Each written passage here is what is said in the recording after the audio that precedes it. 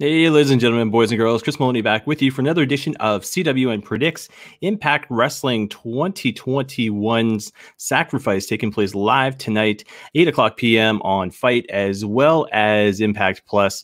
And uh, I'm looking forward to it. Nine big matches on hand. Uh, obviously, the main event means quite a bit tonight. Uh, but uh, like I've said in the past, if you are uh, looking to watch the event for free, you can sign up for 30 day trials through Impact Plus as well as FITE and be able to watch this for free. I'm just going to make sure that you cancel before the end of the 30 days is up, but it's entirely free for you. Free 99, as they used to say, but I think it's 9.99 on FITE. Uh, but like I said, you can sign up for free for 30 days, so it's, it's pretty, pretty, pretty cool. Um, but it is March the 13th, which means Sacrifice taking place live tonight, like I said, uh, 8 o'clock p.m. taking place Skyway Studios in Nashville, Tennessee. I uh, didn't see anything about a pre-show, kickoff show, anything like that. So it looks like uh, just the nine matches taking place. Um, they might have something on YouTube uh, beforehand. Uh, you know, just like a little half an hour uh, uh video just to, to, to, hype up, to prep, whatever the case may be. Didn't see anything so far, but uh, either way, nine matches, uh, you know, a three hour pay per view at least.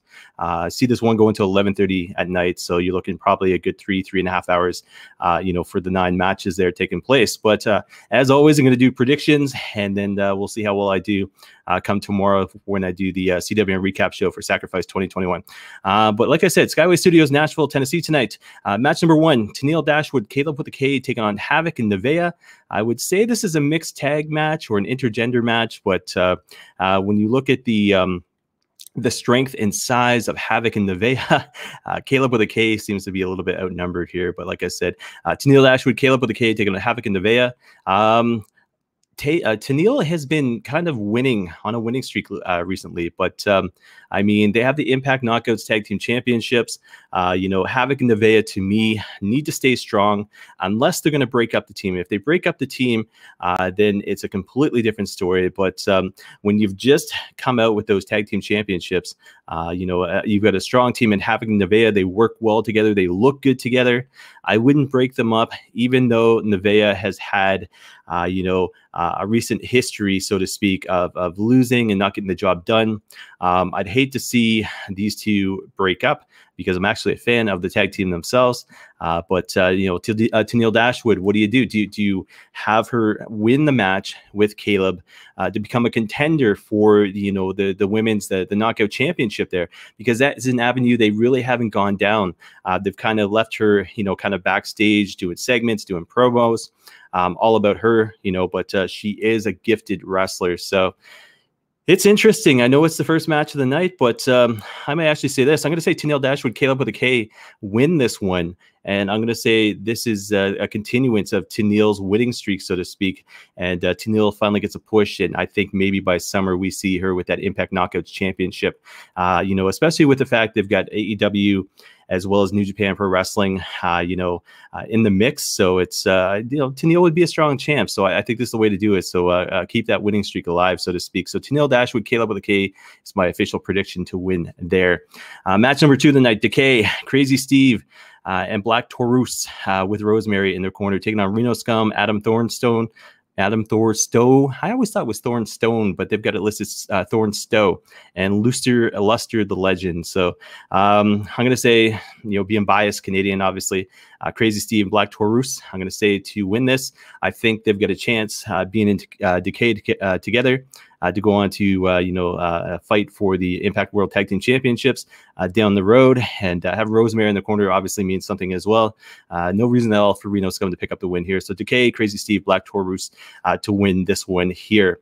match number three of the night: Violent by Design. VD, B, that's hard to say. VBD. That is Deaner and Joe Doering with Eric Young in their corner, taking on James Storm and Chris Sabin with Jake Something in their corner. Um, this is interesting because we saw Deaner lose. We saw, you know, cousin Jake go into Jake something. Um, but James Storm, Chris Sabin, hell of a team. I tell you that. Uh, you know, obviously they they had the greatness with regards to AMW as well as Beer Money. Sabin, obviously with the Motor City Machine Guns, but they're well, working well together. And uh, but what do you do? You got Violent by Design. All this, all you know, you had obviously Eric Young being PO'd at the fact that uh, you know Deaner had lost. Uh, you know, basically put him, uh, you know, away for a week, seemingly on TV, anyways. And then Deaner came out, and obviously, uh, you know, it's uh, um, Eric Young just you know proving the fact that he is the leader, and if you screw up, you're going to get punished. But um, do we see Deaner turn yet? I don't think so. Do we see Jake something turn? Um, that's interesting because he could be the one to cost them the match. And we're talking about James Storm and Chris Sabin, so two big time impact players. Um, Violent by Design, you know, they create the group. They're a strong heel faction. I don't want to see anything happen to them yet. I think Jake's something, I think is only a matter of time before he ends up with that group. I don't think it's tonight. I think Deaner, we see a mean streak out of him tonight because of the fact of, you know, he basically screwed up in Eric Young's eyes. Um, I don't see any reason at all for James Storm and Chris Sabin to win, especially considering the fact they're not really no longer in that hunt for the tag titles. And this match here was basically come out of the blue this past Tuesday. So I'm going to say this Violent by Design to win. I'm going to say Deaner is the one to pick up the victory here uh, to give the group a strong showing. And uh, like I said, it's uh, only a matter of time, I think, before Deaner turns back to being a face or Jake something becomes a heel. So, uh, but uh, Violent by Design for the win in this one here. Uh, match number four of the night Hold Harmless match. I was like, what the heck was that? And luckily, Scott D'Amore explained it.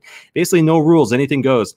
Eddie Edwards taking on Brian Myers. Um, you know, Matt Cardona uh, doesn't seem to be part of this, um, you know, uh, with regards to the match itself. Um, I'm gonna say, you know, it's. I think it, when I talk about heel turns or face turns, I think it's only a matter of time before Cardona and Myers end up hooking up again, um, and, you know, as a tag team. But Eddie Edwards, he's pretty much done it all as far as Impact Wrestling goes. Um, you know, Sami Callihan is uh, on to a different venture as far as Trey Miguel goes. And uh, with with that being said, what do you do? It's basically a grudge match where anything goes. Do you have Cardona get involved though? Because basically, we saw a match where Cardona disqualified Myers because he knew his tricks. So, do we see the formation of Myers and Cardona tonight? It would be cool. Does Cardona accidentally cost Eddie Edwards the match? Uh, that would be something as well. Anyway, you look at it, I'm going to say Brian Myers for the win. I'm going to say Eddie Edwards does not need this uh, as far as a victory goes in this match. So I'm going to say Brian Myers to uh, be victorious in this one here. Then we get to our championship matches. We got one, two, three, four, and five. Uh, make it six if you go title for title. But uh, anyways, uh, first match of the night for uh, Impact uh, X Division Championship match: TJP versus Ace Austin. Um, huge fan of TJP. Huge fan of Ace Austin. Huge fan of Chris Bey. I uh, love their match on Impact Wrestling this past Tuesday night. Uh, when it comes down to these two here, um, TJP, how do you continue the gimmick? You know, he was kind of part of that match where Madman Fulton chased him off this past Tuesday, and the next thing you know, uh, you know, Ace Austin ends up losing the match to Chris Bey. Um, Chris Bey, do you put him against TJP or do you have Ace Austin win this one? I'm going to say this. I'm going to say Ace Austin and new. Um, I'm very rarely wrong when it comes to Impact Wrestling predictions, and as far as Ace Austin goes, for whatever reason, uh, that tournament that they had not too long ago, I picked him to win. Even picked every single bracket, end up going almost perfect for my predictions that night. And uh, yeah, uh, you know, pat on my back, so to speak. But uh, I'm going to say Ace Austin to win the X Division Championship here, and uh, I'd love to see a feud between him and Chris Bey for that title. So Ace Austin and new is my prediction there. Uh, match number six of the Impact Knockouts Tag Team Championship match: Fire and Flava uh, Kiera Hogan and Tasha Steelz taking on Jordynne Grace and Jazz. It's interesting with Jazz because um, I listened to an interview with Tommy Dreamer with regards to uh, what is that show, Busted Open, and uh, Jazz was kind of happy being retired, and basically, you know, Dreamer kind of put that. Uh, you know that uh, that wrestling oomph into her again, and uh, so to speak, and and she's been looking good on Impact Wrestling. You know, obviously teaming and feuding with Jordynne Grace has been kind of cool as well.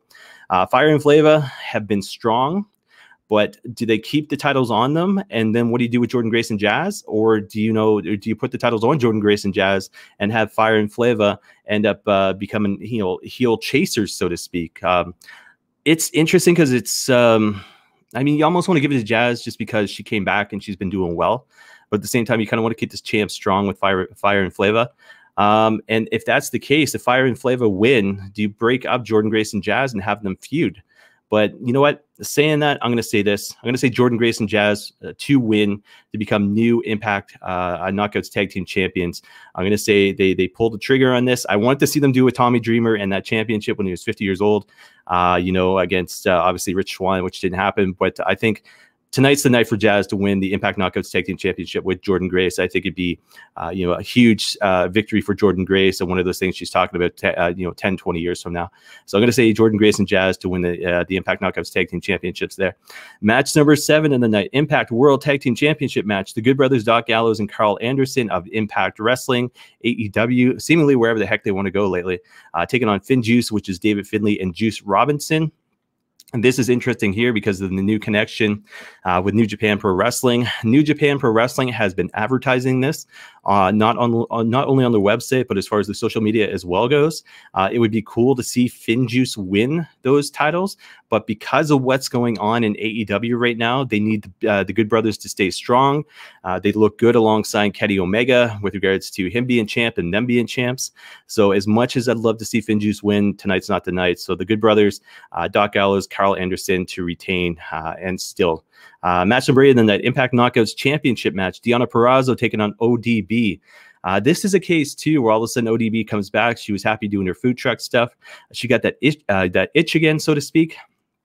And then next thing you know, Impact Wrestling hires her uh, to come back. Uh, she is one of, uh, you know, somewhat the original knockouts. If you go back and look at the history of ODB as far as Impact Wrestling goes, TNA Wrestling goes, there is a lot of history there. Uh, Cody Deaner being one of those guys uh, who has history with her. Eric Young having history with her, you know what I mean? But she's always played that same kind of brash character, and she's she's fun loving, you know what I mean? Uh, and she's kind of like old school, where she just kind of does whatever the heck she wants to.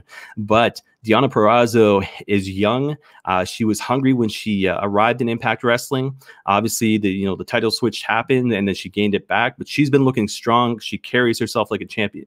And especially with Taya Valkyrie no longer part of Impact Wrestling, you need that leader. So as much as I think ODB uh, could be champ, tonight is not the night.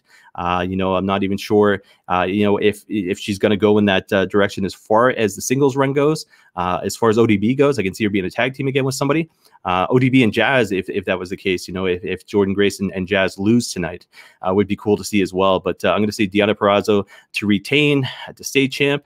And, uh, you know, especially with AEW and the feud that's coming up, uh, I think Deonna Purrazzo going into an AEW match, say against somebody like Hikaru Shida, would be cool as well. Uh, you know, or against NWA champ Serena Deeb. Uh, but whatever the case may be, I'm loving the uh, the forbidden door being kicked open. Uh, basically, as Tony Khan had put it. So I'm going to say Deonna Purrazzo for the win and to retain. And then match number nine, the one that's uh, everybody's kind of been talking about since Tuesday. It got me excited. I tell you this: the wrestling this past week between Impact Wrestling and the shows on Wednesday night had me com- uh, completely tremendously goosebumps and excited uh, to see the direction wrestling's going right now. So, World Championship Unification match announced by Scott D'Amore, winner to face AEW World Champion Kenny Omega at Impact Wrestling Rebellion 2021. This is title for title. Rich Swann putting up the Impact World Championship against Moose, who is the TNA World Heavyweight Champion. Uh, D'Amore came out, cut a promo, said he's sick and tired of having two champions. There's only one way to do it. Let's uh, title for title tonight, and uh, you know the winner comes out as the unified champion. And then, if that wasn't a big enough uh, announcement as well, he you know basically announced Callis announced it's basically uh, Kenny Omega putting his AEW World Championship on the line against the Impact World Champion, a unified world champion at Rebellion. So, do you take uh, Rich Swann, who, if you think about it, very similar style to Kenny Omega? Uh, or do you put it on Moose, who has been part of Impact Wrestling for a long while now, has carried himself like a champion? Um, if you think about the old school Moose who used to come out with the old school music and just do the the you know the Moose chant so to speak, he has come a long way since then.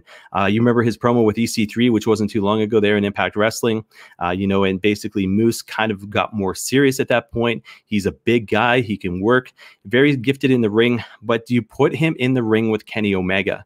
As a hardcore wrestling fan, to me, it's kind of like an old school kind of hey, put Tommy Dreamer in the main event, uh, give Moose his his shot, you know, against AEW World Champion. But to me, because it's an Impact pay per view coming up in April, Rebellion. Um, as a fan, what do I want to see more? I want to see Rich Swann as a unified world champion going up against Kenny Omega, title versus title. To me, that sells pay per view buy rates even more so than say Moose.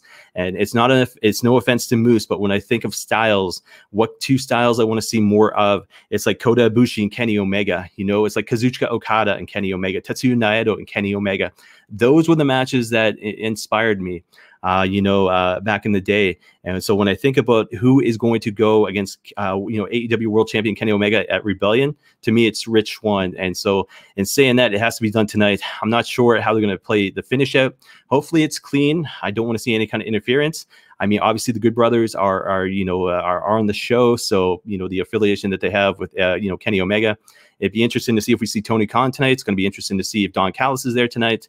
Uh, but uh, I, am going to say this. I'm going to say Rich Swann to become unified champion against Moose tonight to go on to face Kenny Omega, uh, you know, for the title at Rebellion. And I can easily see Rich Swann uh, show up on AEW's, uh, you know, uh, uh, Dynamite shows and everything else. So um, it's going to be interesting. I tell you that, but I'm looking forward to this. Nine matches taking place tonight. Like I said, eight o'clock tonight, FITE as well as Impact Plus. Uh, get it for free. Sign up for 30 day trial, like I said, through Impact Plus or FITE. Just remember to cancel before the end of the 30 days, and you won't be charged at all. But you can see all nine matches for free. So to recap, uh, Tennille Dashwood and Kaleb with the to win. I'm going to say Decay, Crazy Steve, Black Taurus with Rosemary to win. Violent by Design, Deaner and Joe Doering with Eric Young to win. I'm going to say Brian Myers to win and uh, gets uh, Eddie Edwards and, no, in, a hold harmless match. Uh, interesting uh, way to put uh, a spin on that one. Ace Austin to become new X Division champion against TJP. I'm going to say, what did I say? I said Jordynne Grace and Jazz to become new Impact Knockouts Tag Team champions. The Good Brothers to retain against uh, Finjuice. Deonna Purrazzo to retain against ODB. And then Rich Swann to become uni- unified world champion there for Impact Wrestling. Go on to face Kenny Omega at Rebellion. So, guys, I'm looking forward to this. 8 o'clock tonight. And uh, recap show will take pay, uh, yeah, take place tomorrow, 3 p.m. premiere. Uh, I've got a birthday thing I've got to go to, so it won't be live. Uh, so I'll have to do the show uh, sometime early tomorrow morning.